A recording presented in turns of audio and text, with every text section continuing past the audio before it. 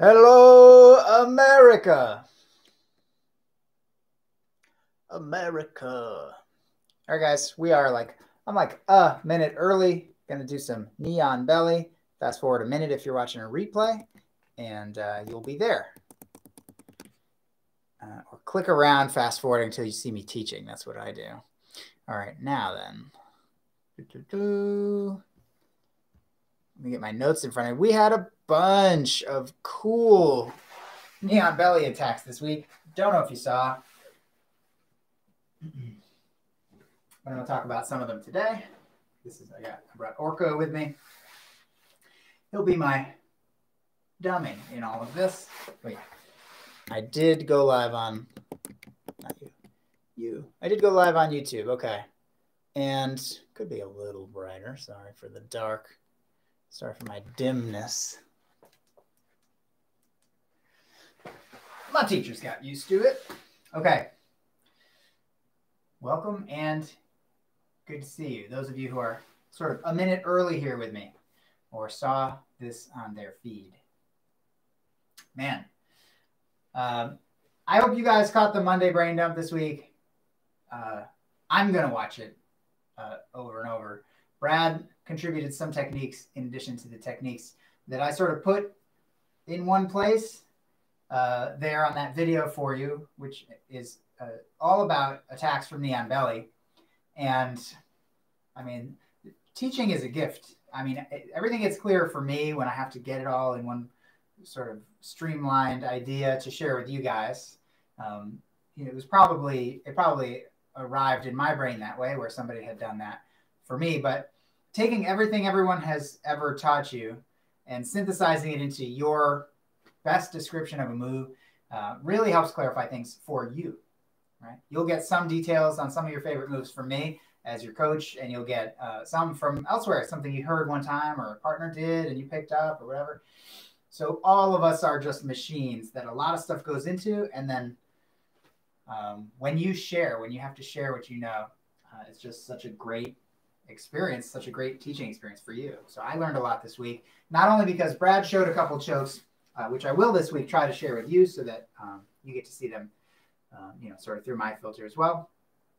Uh, but also because the moves that I know, you know, even just how to organize the uh, the presentation of the Monday brain dump um, was helpful to me because it helped me see that some attacks start with four fingers in, some of some attacks start with the with the near thumb in, and uh, just all the attacks in one place. The great great way to look at uh, the position to see all the attacks listed in one place. So that's what this is intended to be for you, the the Monday brain dump. So I hope you do check it out.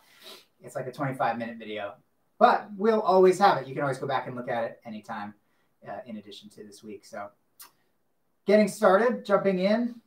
Thank you for being here. Knee on belly attacks. Let's start by talking about knee on belly, the position. Brad had a way of describing it, which I thought was useful. And Brad certainly has spent a good amount of the last few weeks with his knee on my belly, neck, and face. So I know he knows what he's talking about. He says uh, if you draw a line on someone, an X on somebody from shoulder to hip, that the center point is about where your knee should go. And um, we always say knee on belly, the name of the position, knee on belly. Um, but the center of that X really is the xiphoid process. It's the end of the, the bone here into which your ribs connect, your sternum, right? The xiphoid process. And man, when someone puts their knee there, you really want to move.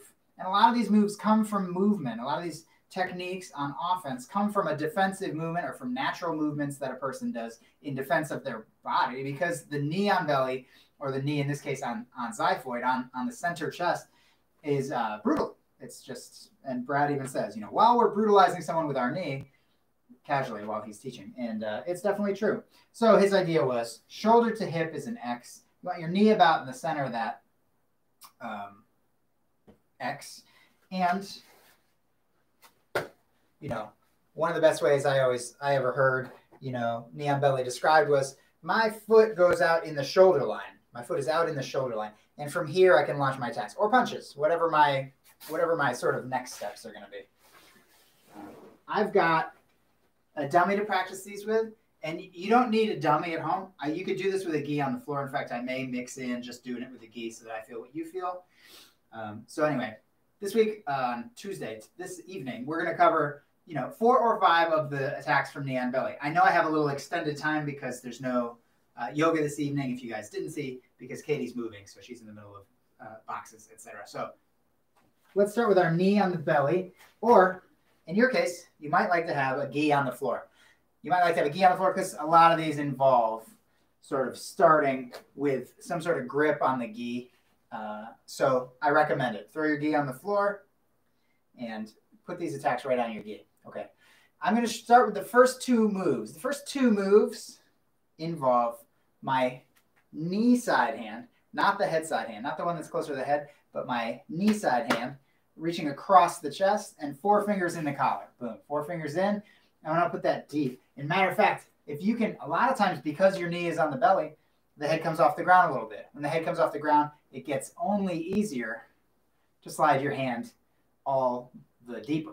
So try to get a nice deep grip here and now here. I would say one of the most common movements that a person will do when you put their knee on, on your belly is this here. They're going to use their other hand and they're going to put it on your knee. That's to brace a little bit, maybe take some of that pressure, but also they're going to try and turn on their side and push your knee off. So they're going to boom, push your knee off. Okay. And that's the protection of their body and organs. Okay. I have this nice deep grip. If somebody does that, puts their hand on my knee and pushes me off and turns on their side, I'm actually going to go with it. And there's something I do to help myself go with it. Where where my toes are a little bit of an anchor against that happening, somebody tries to push, and my toes on the floor here help prevent that from happening. I'm actually going to, when I'm ready to do my move, which is that I've got my four fingers in the collar, I'm going to straighten my toes. Then when they push and roll up onto their side, I only need to chop down, chop, grab some material, and I do that in my fingers like this, the ends of my fingers. You don't have to get a closed fist. It'll be just Pedro Sauer calls them your little, little fingers. So I'm going to chop and get a little finger grip, and I'm going to choke right here.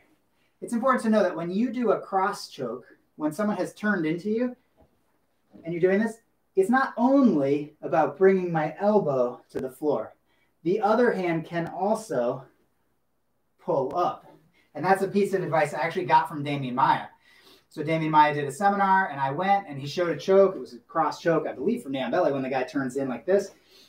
Okay, and I was like, you know, sometimes I have trouble because they tuck their chin, like getting under the chin, or but getting my elbow low enough. And he said, oh, this is easy. He said it's not a one-handed choke; it's a two-handed choke, so you can use both hands. So the other hand, this hand, can pull up like a lawnmower. Okay, and that you're gonna find that helpful in the finish of this kind of choke.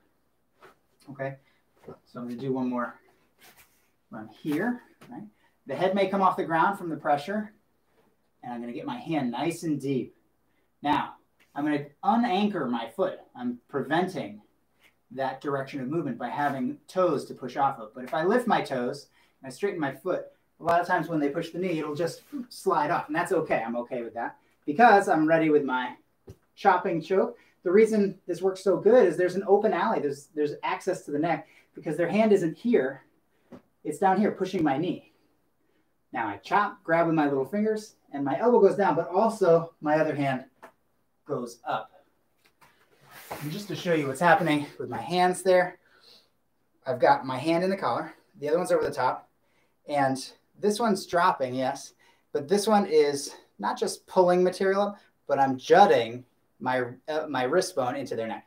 So I've gotten here, and when they turn in, it's this this action is happening with that bottom wrist while I drop my elbow. Okay. And that's going to give you a great, it's essentially, I think some people will call this a paper cutter choke. Some people would just call it a cross choke or a reverse choke because it's the thumb in and not the four fingers. Um, regardless, I think, I think I called it a, um, like a chopping choke because they turn on their side. A paper cutter from knee push is another way to think of it. They push my knee, got my hand in, they push my knee and roll up. I chop, and I'm finishing this sort of paper cutter type choke here. Okay. And that's the first choke. And that's the first of two that use my four fingers inside. Same hand, same cross grip, same putting my hand in the collar that I might do for mount or guard. So I'm to put this hand in the collar. Again, now for the second one. I want to point this out here. I think this will be a good angle for this. I've got my hand in this collar over here. Now, sometimes someone's hands will be up defending their neck, okay? But sometimes they'll bring their hand down. One of the reasons to bring their hand down would be to push my knee off, to try to push my knee off. If this hand ever goes below the nipple line or goes to touch my knee, I can always do this. I'm going to put my head on the ground. When I put my head on the ground, now even if they want to bring this hand back up, my head is in the way. So with my head on the ground, I can now push some material through, push some material through so my thumb fits, and then put this choke together here and finish a similar choke to the last one, except I'm keeping my head in the mix on the ground, forehead on the ground, because it keeps this arm from being able to come up and defend. You know, they want to do this, but their arm is stuck. My head is here. They can't get up here in order to defend their neck.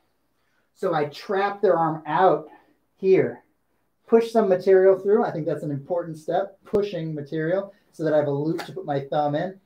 And now I can sort of shave my arm down the face and finish this here. But it's not the best angle to finish right here with my uh, head this far south. So I want to put my head between their head and shoulder. Boom. That brings all my weight to bear on this arm here, and that'll be a that'll be the choking arm. So again, I was in knee on belly. If their arm ever goes south of the pecs. Then I can put my hand on the ground just because I'm not going to headbutt the floor. Hand on the ground for base.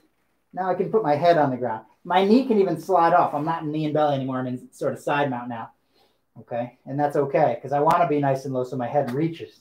Forehead on the ground, not the top of your head. Forehead on the ground. Push material, grab, bring this through, and finish by putting your head here. Not just here, which is in the way of the arm, but over here, which is in the way of the arm, but putting all my weight in the right place for the choke to be a good choke. So last time on this one, I got my hand, my hand in the collar. Their hand goes south for any reason, probably touching my knee. But I'm going to put my, I'm going to come off of knee on belly and put my head on the ground, keeping their hand out. Now push material I think this is an important detail. Push material. So a little loop appears over here for my thumb. Thumb is in. Easy. Could be difficult, especially if it's tight, especially if I'm pulling. I'll never get it in. Push it. There it is. Shave this down and then bring your head over to here. From the bicep to the ear. Okay. And uh, that's from Marcio Stambowski. I thought it was brilliant. A seemingly simple, seemingly basic choke, but uh, brilliantly you know, uh, executed to keep the arm that would be defending the choke out of the picture. So he's pre-defending the defense. He's eliminating the defender. It's a, and, and Marcio is a big chess player. So if you're a chess player, sometimes eliminate the defender and then you can kill the piece. And that's what that's what he did here. He eliminates the arm that would be defending, so he can go right in for the neck. Okay. And those are two options from four fingers in. Okay. Um, the rest of the moves uh, for the next little bit on the Monday brain dump, and that I'm going to show today involved a different collar grip, but the same collar grip for all of them. So knee on belly here. This time I'm going to put the hand that my left hand, the hand of the knee, thumb in, knee hand, thumb in, boom. Okay, thumb is going in the collar right here. All right, and I have a lot of options from here, but this is the one that uh, I'm going to show you first, and it's a looping cross choke. It's actually going to be I'm going to end up with the same choke I just had. So I'm going to put this thumb in nice and deep. Maybe all the way behind their head would be a good place to have that. Okay. And now when I get an opportunity, if they're pushing on my knee in particular, their hand again isn't defending their neck when they do that. This hand's going to chase the first hand in. So I chase it in, but this is four fingers in. So ultimately the four fingers get there, but they get there second. I start with the thumb. Four fingers chase it in. And now when they start to turn, I just loop and I can finish that same choke with my elbow coming down and with this wrist jutting. Okay, so again, this one looks like the choke I did when I chopped, and is, but I get there a different way. I get there a different way. Start with the thumb in. Sometimes we're here because we're controlling a leg or we're controlling the collar here anyway, or we're driving our weight. Like having this grip on the collar, common and super useful. Okay, but I'm going to get it just a little deeper under the head so there's room to chase it in with this hand, which is going four fingers in. And now I'm going to wrap the head to finish the choke, either here or, you know, when they push my knee, turn on their side to escape. That's a good time to be doing that as well. And again, chopping while jutting, jutting. This wrist bone should be right next to their carotid here on the floor. So that's why that movement is so effective. Okay. So really, even though I start with my thumb in, which makes it different looking, I fix my dummy a little bit. It is the same choke. It is the same choke starting in a slightly different place, starting with the thumb instead of starting with the four fingers. Okay. You're falling apart, man. His pillow guts were falling out. Okay. Let's look at a couple more. Okay. So, baseball choke. Baseball choke is one of our very common uh, chokes that you'll see from Knee on belly. It's, I don't know if I'd call it a fundamental because it's very easy to not get all the details or have people give you a hard time. Uh, but this is a this is a choke used at the very highest levels. Very highest level guys catch other very highest level guys using a baseball choke all the time. It is a super effective uh, choke that you should learn just as soon as you can in jiu-jitsu. It starts again with my knee side thumb in the collar. This one's in the collar. And then it's just a different configuration. Instead of chasing this in here, I go four fingers in the other collar. But that means that I totally turn my palm up, palm up, four fingers in on this side. Now, if I take my hands out of the collar, you can see why it's called a baseball choke. It's almost like I'm holding, or a baseball bat choke. It's almost like I'm holding a bat because I have my thumb in and then I put these four fingers in. And now, so thumb in, four fingers in, palm up is the very hard hardest part maybe of the whole move to remember uh, is how does this hand go? Palm up, four fingers in on this side.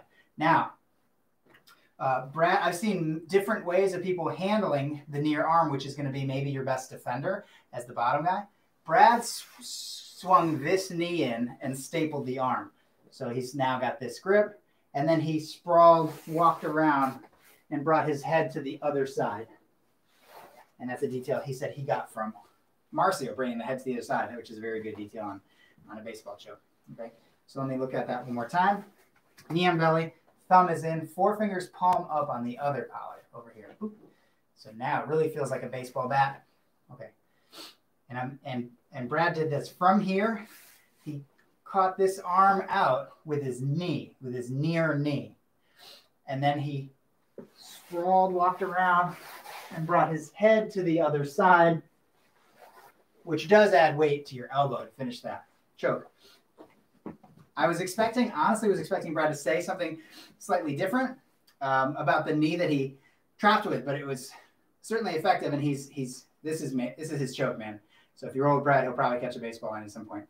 Um, but I have seen this arm peeled out with the other knee, and I just want to show you what that looks like because uh, both are good options. Okay. From knee on belly, thumb is in, four fingers, are going in this side. Then I get this nice deep grip, the deeper you can get this thing, man, the better. Okay. And now, if this hand is up and, and defending, I have seen people cut this knee through. Boom. Cut that knee through. And you can see that I've already got the point on the ground with my knee that I will turn around to finish the move.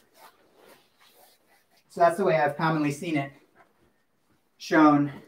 And then uh, Brad, who is a, this is part of his A game, Brad peels it out with the other knee, and both are great. Are great. Certainly felt effective. So thumb in, four fingers up. He's he staples with this leg.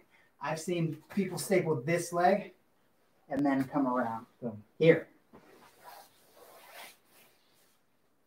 There's nothing special that I'm doing that you can't see in terms of with the grip. I just have the grip. And by the time I come around, by the time I come around, let me do it here. I put this in, and when I come around here and I put my body on this, I just I crush the X, and the X gets crushed on them. So you're going to be getting you're going to be getting the tap real nice with the baseball choke that way. And very interestingly, Brad has another finish on this that he showed in the Monday brain dump, which is this here. He's got the near thumb in. He sets the baseball choke up the same in every other way, except he from here, he looks at his knee. Look at the knee that you've got posted. Look at that knee and roll over here. Now, when I end up on the bottom, uh, some of you guys may know that you can catch the baseball choke from the bottom, but this is really beautiful. He catches this, he turns his body away. So almost like I'm running toward you. And there's nothing stopping this elbow, which the ground was in the way of before. Using the airspace now available to me, there's nothing stopping me from really closing that choke off. And it's very hard to deal with as the other guy. In fact, this finish is, um, by his account, and um, and according to Majid Haj or Majid Hage, uh, I'm not sure how to pronounce pronounce it. Um, the higher percentage finish is actually this one, which was super interesting. I'd never seen it. I think it is more rare, so it's like it's going to be a unique thing that you know now. Not everybody's doing this move by any means. So the thumb goes in the collar, the baseball choke goes in, and um, you know the reason I say look at your knee is just to make it clear which shoulder to roll over. So look at your knee and roll, and then look away from the guy, and you run through. I'm running facing away from the guy, run through and finish, and that's another way to finish the baseball choke, which according to some great sources, is actually the higher percentage finish on it. So uh, very cool move. I don't always tell you to pull people on top of you for sure, but um, there's no doubt. I've had this happen to me. Majid caught me with this, and Brad has caught me with this. When they roll, it's hard to it's hard to do anything about because they have so much free space to finish to get a good a good bite with that choke. So very hard to deal with. Okay, and I'm just going to show one more move today, and then I'll summarize a little bit more today because we have more time. I know that we have more time since we're without yoga this evening. And that's the deadlift back take. If I put the thumb in, thumb in, um, and well, let's say I'm even trying to catch one of our earlier chokes, really any of them. Could be the baseball choke. It, I, it could have been this choke. Could have been this here. Um, could be any of them. But for the thumb, I would say let's chase it and see if we can't catch the person here. And if we can't, because they're blocking, maybe they're blocking my elbow from dropping, something like that. What I do is I take a single step to the other side of their head. So I'm here and I'm going to step here and lift them up. Now I'm going to put this hook over their leg on this side. And I've already got the collar in this hand to hand off to here. And with this hook, the bottom hook, which is honestly the more important hook when back attacking, and having handed off the collar this way, so they can't easily turn this way because of the choke. They can't easily turn the other way because of my, my back control uh, and hopefully my second hook, um, that we've taken the back and are already attacking. So I just took collar grips, stepped over their head and pick, picked them up. And uh, I think a good point to recognize is I'm trying to wrap this choke and they're kind of not letting it happen. So I step and I deadlift. It should be a deadlift. It should be a hip movement. Hips come up and then slide this bottom leg in and feed this collar. Now I can already be looking for, you know, some of our earlier chokes that we've done from here, from the back. One more time. Let me, let me grab, I'm gonna switch to the gi from the grappling dummy. A, he's falling apart. B, this is what you guys are doing. Some of you guys. So I've got knee on belly, right? I put this in, I'm trying to catch this choke, but maybe he's blocking my arm. So I step over here, pick him up, put my hook in, and then pass this collar around. I'm looking for chokes now here for that last choke. So let's look at all the chokes real quickly. Knee on belly. Four fingers in, I gave you two options. One was to straighten my toes, let them roll up, and then chop to finish here as they roll up into me. The other one was Marcio's thing where I've got one hand in the collar and they touch my knee. So I put my head down on the mat and I come to essentially to side mount. Push material through, grab it, wrap the head, and I'm here. And meanwhile, their arm is stuck out of the picture. When I go to finish this choke, I will put my head next to their head though. Okay. And then we talked about thumb in ones. We talked about one, two. Essentially, we talked about the looping cross choke and the baseball choke with two variations, and then the deadlift. So The thumb in ones, you can think about the looping cross choke. So this one chased by this one and then wrapped around. Right. I chase this hand with this hand. I have my two grips on one side of the head, and then I bring my elbow around to the other side. Talked about that one, and then we talked about the baseball choke. This is in, and then I put this in, and I either cut my knee across here or cut this knee across here and finish, or I roll this way to finish here. So we just did the looping choke and the baseball choke, although there were two baseball variations. So again, four fingers in, we had the chopping choke, and we had Marcio's head to the mat. Chop or the head to the mat to keep the defending arm out. With the thumb in, we had the looping choke, and we had the baseball choke. Either, either I roll off or I do it on the side I'm on by walking around the head. And then the last thing we talked about was you know, if, if you're setting these up and they're just they're defending to where maybe this hand is blocking my elbow from dropping. They're blocking that. Well, maybe I just step over the head, pick them up, and take the back. Here, look for look for chokes from there.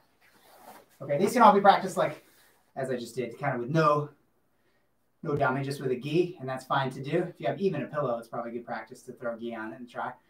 But uh, thanks for tuning in, guys. That is uh, one, two, three, four A and B, five, five different chokes, a couple different entries, uh, finishes for the baseball choke, but five different chokes for a Tuesday night. I think that's real good. And we even did actually finish on time. So any questions, by all means, let me know.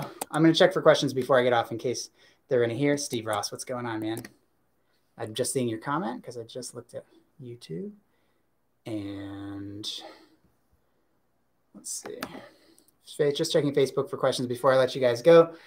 We are two weeks, if you're still with me, we are two weeks from the beginning of phase one, partner groups outside.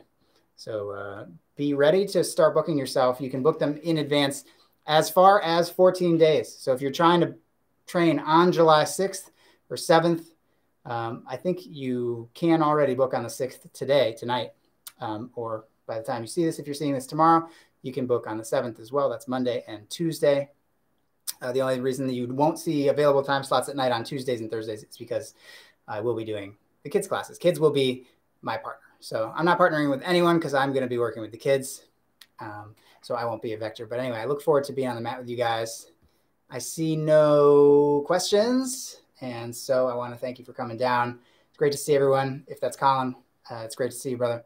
And um, check out the Monday Brain Dump is all I can say. It's just a really good collection of a ton of knee on belly attacks. We'll always have it. I'll always, I'll probably link, link it, link to it in the future when I talk about some of the stuff in class because it's just something you can pause and rewind. And because Brad taught a few that even I didn't know. So very nice. Good to be with you guys. Have a good night. I'll see you soon. Take care. And YouTubers, thank you for being here. I'll see you guys soon. Bye, Steve.